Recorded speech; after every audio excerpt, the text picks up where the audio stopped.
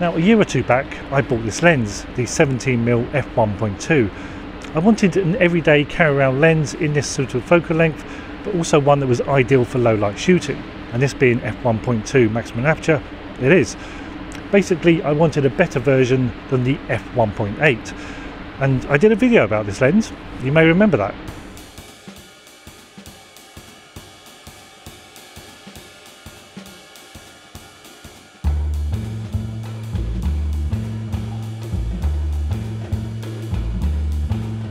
However, this lens does feel a bit big sometimes. For Micro Four Thirds, I don't think any of the primes should be any bigger than the zooms. So the new, the newly released OM System 20mm f1.4 would seem the ideal new lens for me then. So this Olympus 20mm matches the focal length of my very first MFT lens, which is the Panasonic 20mm, and that's always been a favourite of mine. Plus, in full frame terms, a 50mm is often the ideal standard lens, a nifty 50.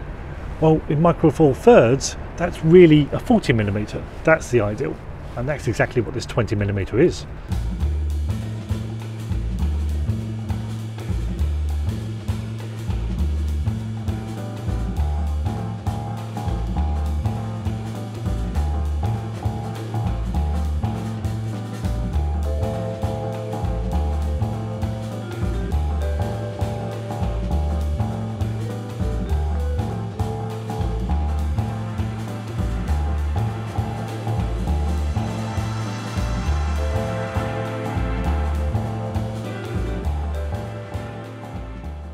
So this new 20mm f1.4 is both smaller and lighter than the f1.2 and probably about as big as a prime lens should be.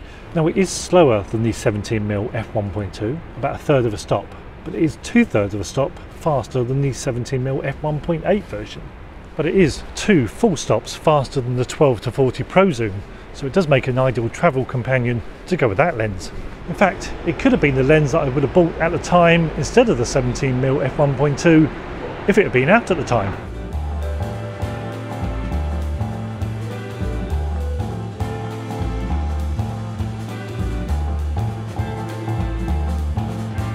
However, this new lens hasn't been praised by everyone, simply because it differs from the other Pro primes in the range.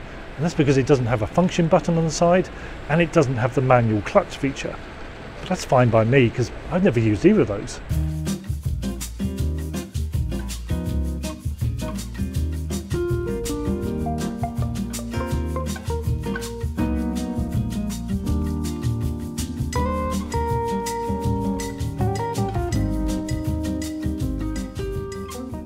So this new lens is smaller than the 17mm f1.2 and more compact, but it's still fast and it's weatherproof too, which is ideal for today's weather. So in fact, it could replace two lenses, the 17mm f1.2 and the old Panasonic 20mm.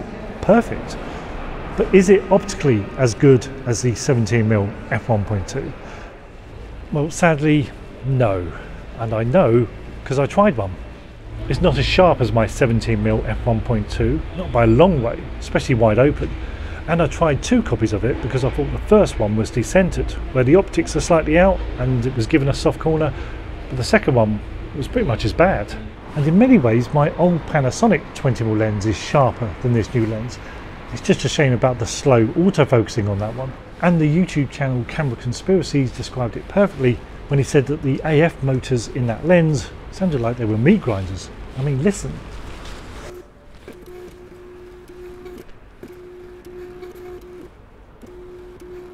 Basically, I don't think it deserves the Pro label. Sorry, Digital OM Solutions, I'm a bit disappointed. I'm also disappointed with the weather today. It was meant to be cloudy, but it wasn't meant to be raining. Oh well, I suppose I've got a weatherproof lens.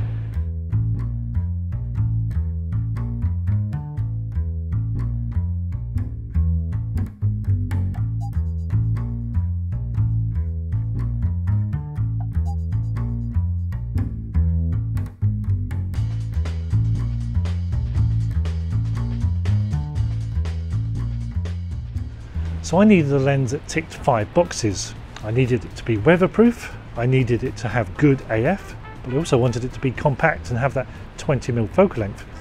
And it also needs to be fast, to have a nice wide maximum aperture and be optically good and perform well. Well sadly this lens only ticks four of those boxes and then left the room before it completed the survey. Well I've been wanting to photograph these, uh, these tower blocks here for a while and this is the first time I've visited when they're being completed. So I'm going to try and get those from various different angles. I suppose today where it is a bit miserable, at least I'm getting kind of a, an atmospheric misty effect on the top.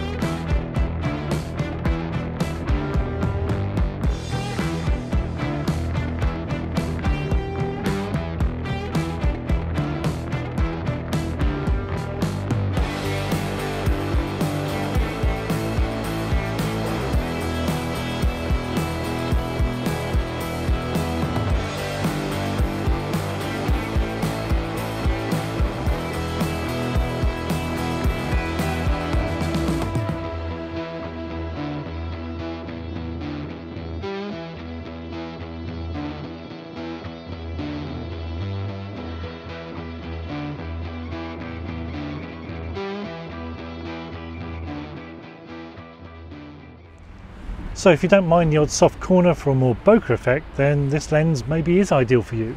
Or if you only shoot at mid apertures, again, it's ideal. Super sharp here. So my 17mm f1.8 lens has one soft corner, so I didn't really want to spend another 700 pounds on another lens that also has one soft corner. Not one that I didn't expect to.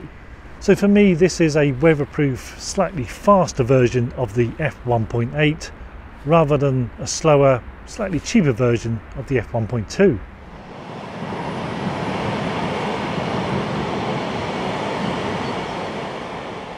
So for now I'm going to be keeping my 17mm f1.2 lens as my main low light lens and my all-round everyday compact fast prime is yet to be released.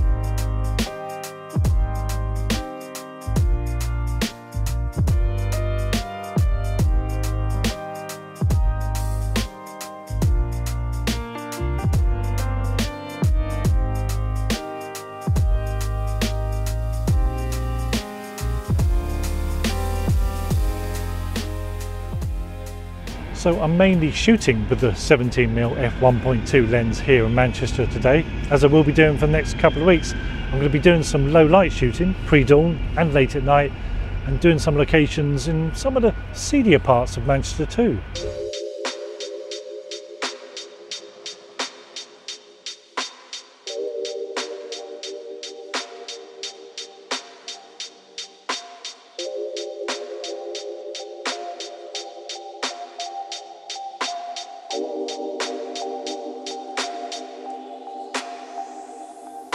But today I'm just walking around the city centre, kind of topping up my example shots, ready for my workshops that I'm running here in Manchester.